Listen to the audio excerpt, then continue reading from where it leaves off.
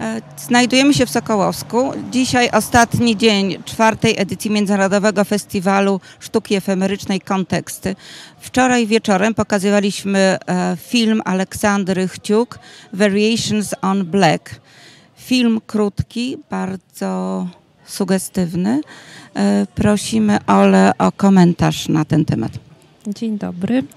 E, Można powiedzieć, że jest to utwór na fortepian preparowany własnym ciałem.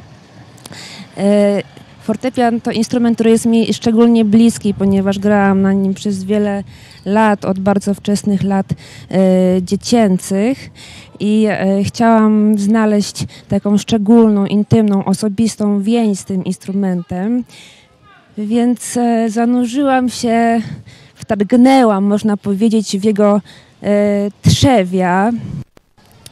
E, odczuwałam je e, swoim ciałem. To była taka forma takiego obiegu energii między mną a tym instrumentem. No to jest, to, była, to było zmaganie, można powiedzieć, że walka, takie ścieranie sił. E, Długo myślałam nad koncepcją tego filmu, natomiast sama realizacja to był taki szybki, szybki strzał i cieszę się, że Państwo mogli wczoraj tutaj w tym miejscu mieć taką szansę obejrzenia, gdyż e, była to właściwie premiera, także dziękuję za taką możliwość. To my dziękujemy.